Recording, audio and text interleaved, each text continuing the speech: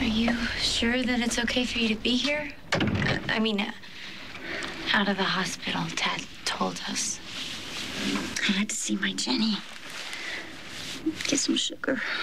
Shouldn't you be in bed? This is what I need. This is all I need.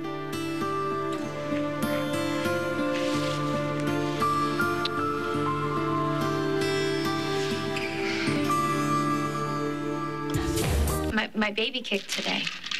It was the first big kick. It's pretty wild.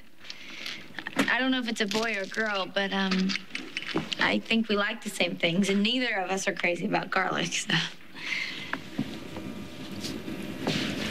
I'm sorry. I shouldn't be yakking about being pregnant when you'll never be able to.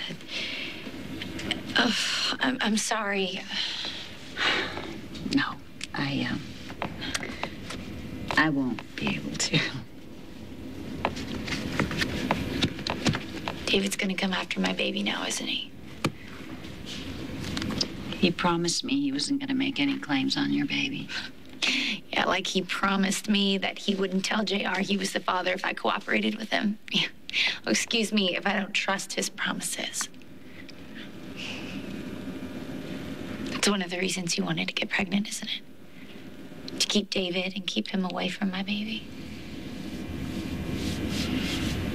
That was part of it. Children.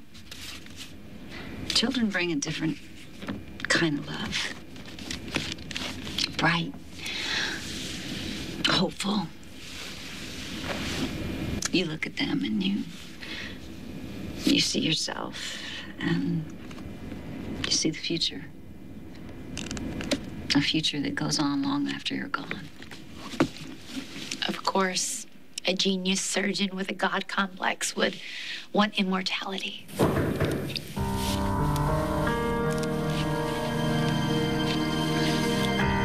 you are. Hey, you beautiful girl. She's looking more like you every single day. I think she needs a diaper change. I'll be right back. Okay. You're the big champion of mother's rights, aren't you? Well, I'll take that to mean that we have your blessing. You can't take Jenny. Is everything okay?